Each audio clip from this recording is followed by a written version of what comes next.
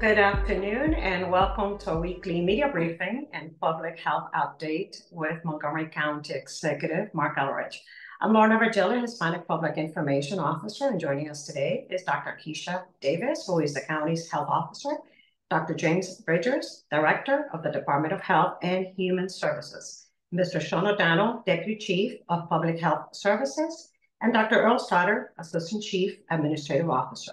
We have two special guests today, Ariel Gordon, 988 Hotline Director for EveryMind, and Monica Martin. She's Acting Chief of Behavioral Health and Crisis Services, also for the Department of Health and Human Services.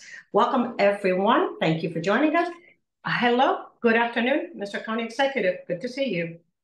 Good to be here. And thank you, everybody, for joining us again today. Uh, there are many reasons to be hopeful about our local economy in the months ahead. But one of the big reasons is the anticipated lowering of interest rates later today by the Federal Reserve. As I mentioned before, Montgomery County has been significantly impacted by the Fed's decision to raise interest rates to levels we hadn't seen for nearly two decades. And by keeping these rates high, the Fed indirectly sapped the county's power to generate its normal revenue. Revenue from the county's transfer and recordation taxes is down about 50% from historical averages. So the money generated for the county when homes are sold and registered to a new party through the transfer tax and the recordation tax lagged because of the declining home sales. I'll put out, you know, to make a further point on this, um, when the county revenues go down, we contract for fewer things, we buy fewer things, so when you buy less, when you have fewer people working on contracts for the things we need to be done, not only do you not get stuff done that you need to get done, but in terms of the local economy, those dollars aren't available to hire people. They're not able, they're not available to pay for merchandise or supplies or equipment that you'd be buying from vendors in Montgomery County. So it has a trickle down negative effect by depressing actual consumption of things that government normally would consume. Um, higher interest rates have kept home sales far below the normal pace, meaning that many families have been waiting for interest rates to fall. It's not going to happen all at once, um, but I hope pent up demand for homes will help drive home sales in our area back up and help positively impact the county and state revenues. Um, interest rates, I think, have been kept artificially high for too long, and I hope the Fed provides some relief starting today. Um, September is Suicide Prevention Month, and suicide rates in our county reached record levels as recently as 2022, according to the Centers for Disease Control. In 2022, the nation and Montgomery County got a new tool to help people who are having suicidal thoughts, and it's the 988 um, Suicide and Crisis Lifeline. And it's, it's available 24 7 to call, text, and chat. Two summers ago, the suicide prevention hotline replaced the 1 800 number that had been used previously. The new option gives users the option to call, chat, or text with someone and is a simple three digit number. Between the first year and the second year, there was a tenfold increase national, nationally in people who were reaching out for help. 988 is promoted and um, been shared by our health department and human services professionals. It's run locally by one of our community partners, Every EveryMind. Leaders tell us that over the last year, they fielded nearly 3,000 texts from local phone numbers in Montgomery County and participated in more than 1,300 chats. There's a strong number that represent real people who need help. Um, but more people need to know that this free lifeline is available. With so many people struggling with depression, anxiety, and addiction, more people need to know that 988 is there to help them. I want to thank Congressman Jamie Raskin for the suicide prevention legislation he introduced recently. The Stabilization to Prevent Suicide, the STOP Act, would create a grant program at the Federal Sub Substance Abuse and Mental Health Services Administration to help expand the use of evidence based models for stabilizing individuals with serious thoughts of suicide. His personal experience and gave him a unique perspective on suicide, and this legislation has been in the making for several years. At the state level, the Thomas Bloom Raskin Act, enacted in July 2001, helped expand the state's crisis call center so that trained mental health counselors can periodically check in with people who need mental health support instead of waiting for them to call when they're in crisis. I'm sorry that the congressman had to experience the loss of his son through suicide. Um, and I know that, you know, the work he's done is a tribute to his son and coming from someone who's had to experience this, um, our sympathies have always gone out to him. I would like to highlight some of the work done by our county to keep more people safe from self inflicted shootings.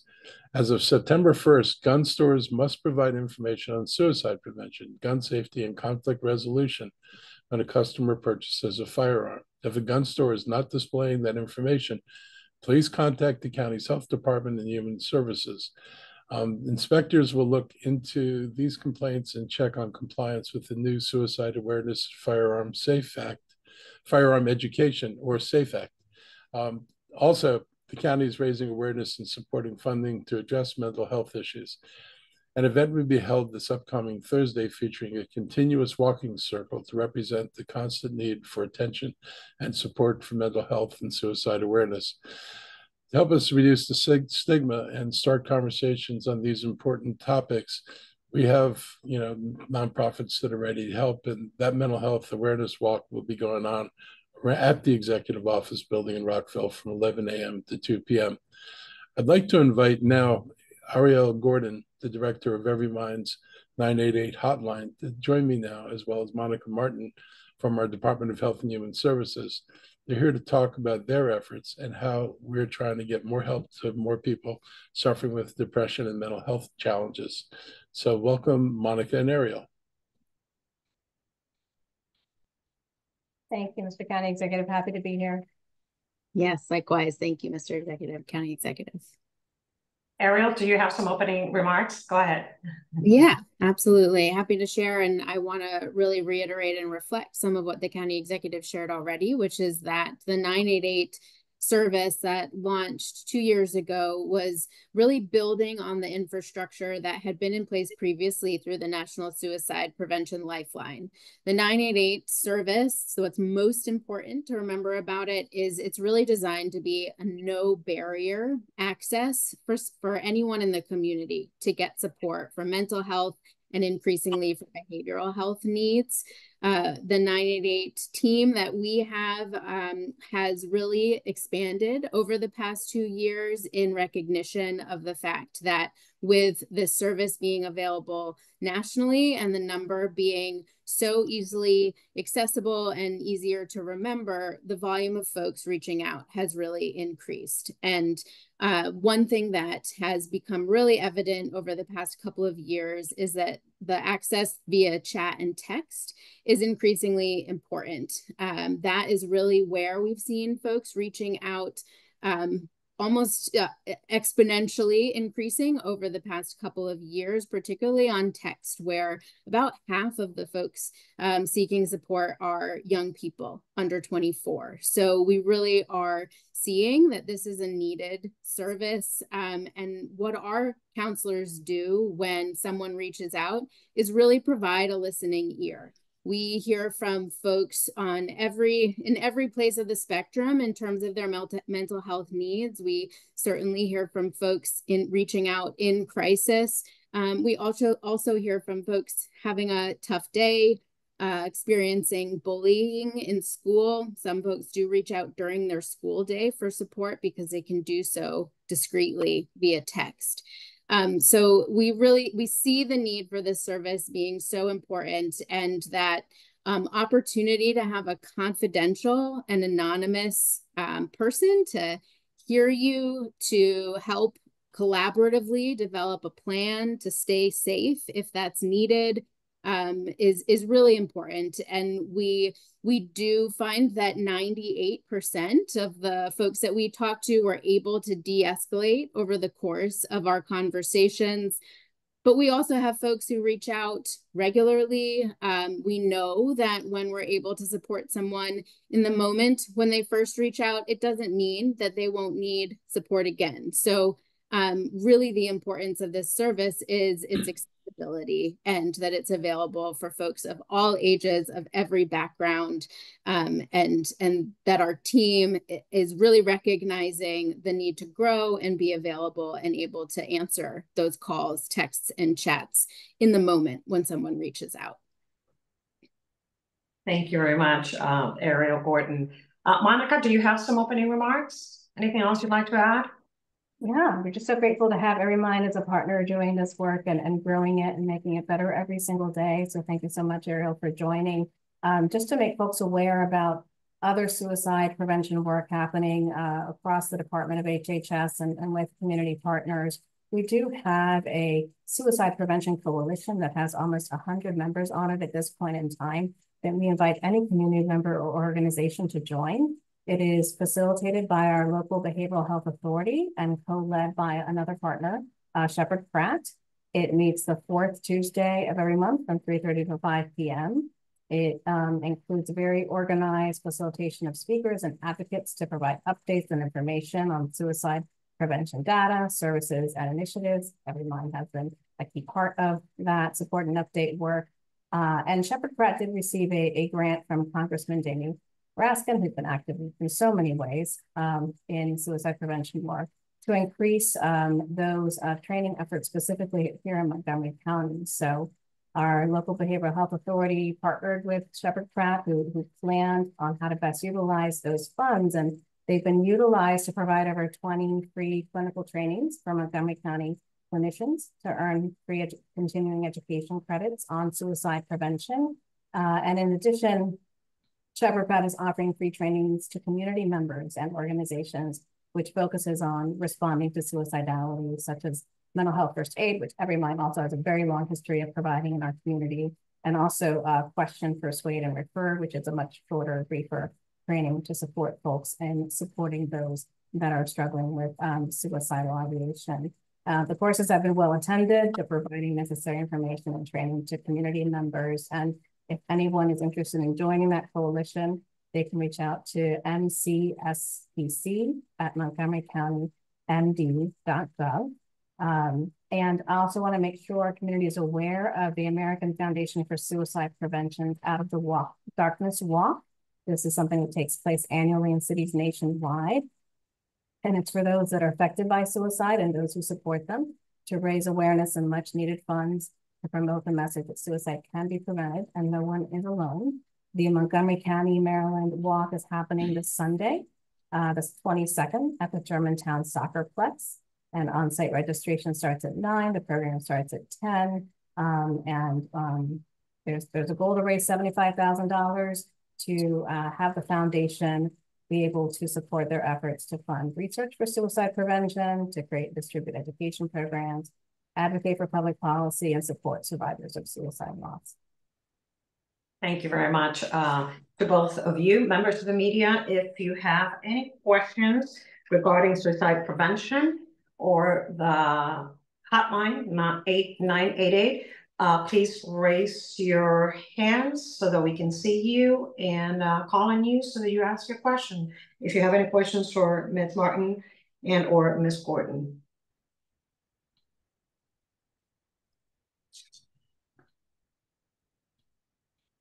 Any questions regarding suicide prevention?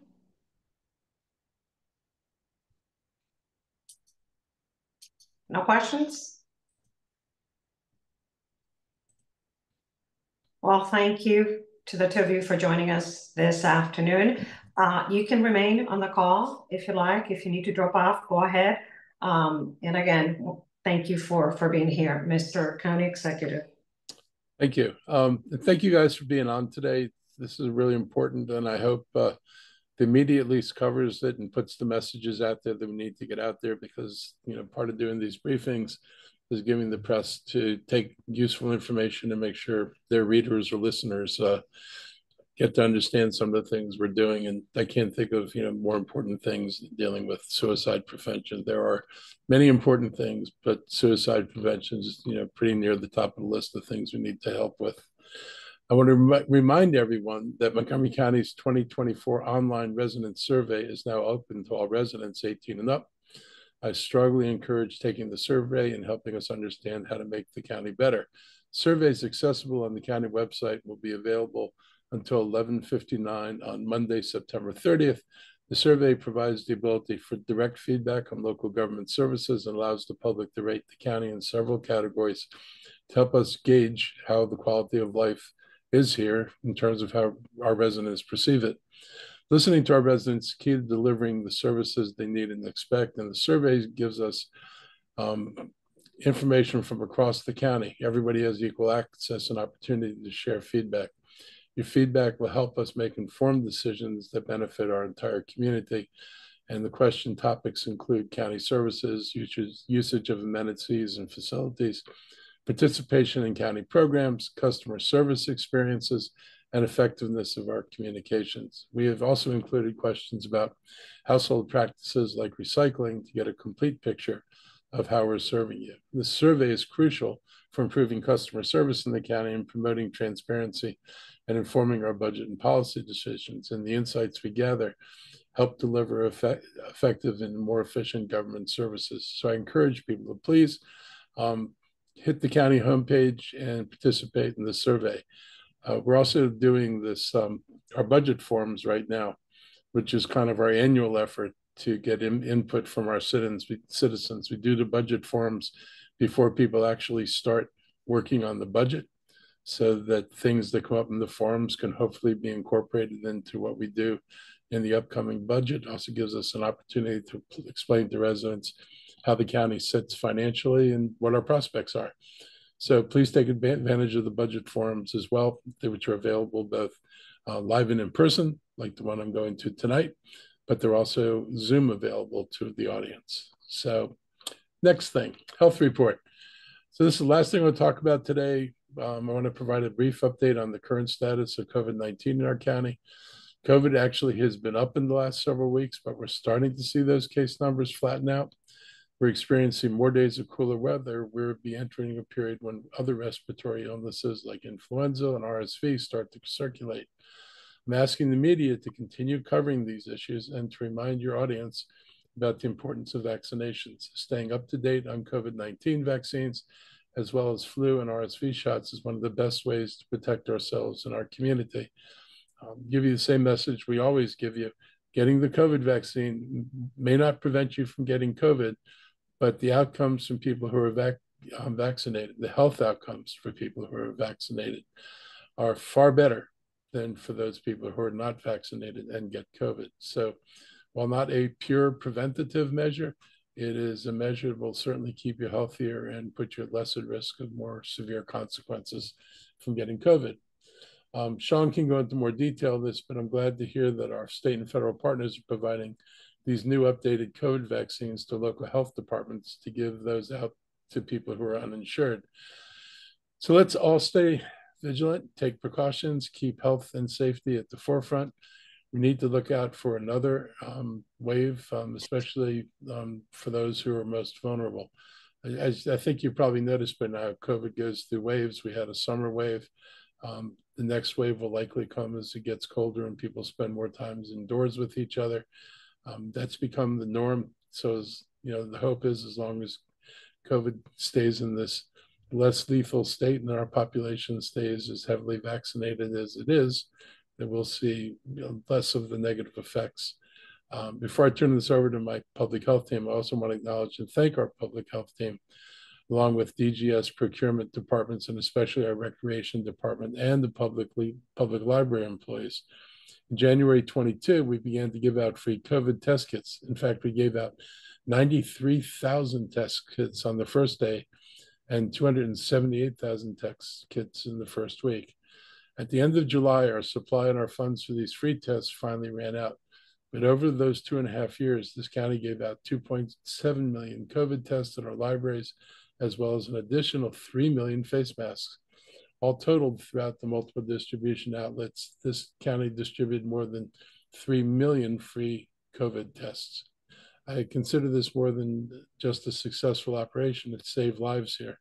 I appreciate the coordination and hard work displayed by so many actions that our government employees took to provide these kits and face masks at no charge to our customers. So I'm going to turn it over to our HSS team as well as Dr. Stoddard for any updates from them, and then we'll get any questions you may have. Thank you, Mr. County Executive. I just want to add that uh, we're we're waiting for the supply of COVID vaccine from our state partners for the uninsured populations. Once we have that, we'll we'll share information about how to contact us uh, to, to get a shot if you need one. Um, but again, just urging people to take uh, precautions. If if they, you have not gotten COVID this summer, uh, you could still get this strain of COVID that's going around. So, um, again, thank you for those uh, those words of caution to the community. Thank you, Mr. Donald. Dr. Bridgers? Nothing from me this afternoon, Lorna. Thank you. Ready for question and answer. Dr. Davis? Nothing additional, just a reminder, it is uh vaccine season, so get those COVID and flu vaccines, and if you're um of the right age group, consider your RSV vaccine as well. Dr. Stoddard? That's good questions. All righty, let's get, uh, let's get started with the questions. Members of the media, if you have any questions uh, regarding any topics in the county, please raise your hand.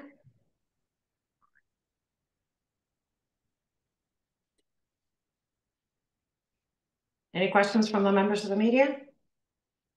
For county officials and the county executive? No questions? Going once?